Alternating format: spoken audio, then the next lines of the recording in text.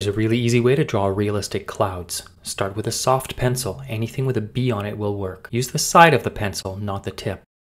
Lightly shade the whole page. Now take a blending stump and blend the whole thing. Grab an eraser. I'll be using this fancy one. Draw the outline of just the left side of the clouds. Those are the parts of the clouds that are facing the sun. Notice the sky. We're going to make that darker. Let's draw the underside of the clouds now. You're going to shade the right bottom sides of the clouds. This will give it three-dimensionality. Make sure the area underneath the clouds is slightly darker. You can add some diagonal lines to make it look like rain, and scribble in some indications of trees along the horizon line. If you got value from this content, please do follow, like, comment, and share for more art tips and tutorials.